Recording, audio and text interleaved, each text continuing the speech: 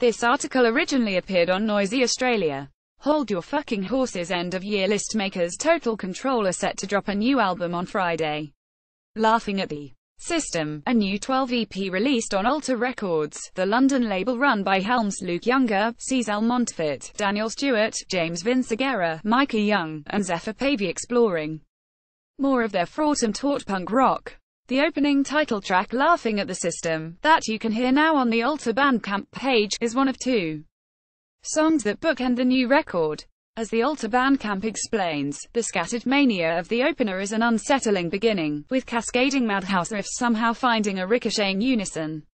The closing part has the familiar head charge of Total Control's most gnashing moments, with the guitars balancing the equation between running too fast and drinking too fast in one queasy commitment with a brilliantly acerbic wit, we're implored to gather that there's some equivalences here. And it's this kind of impulse that's kept up throughout the 12.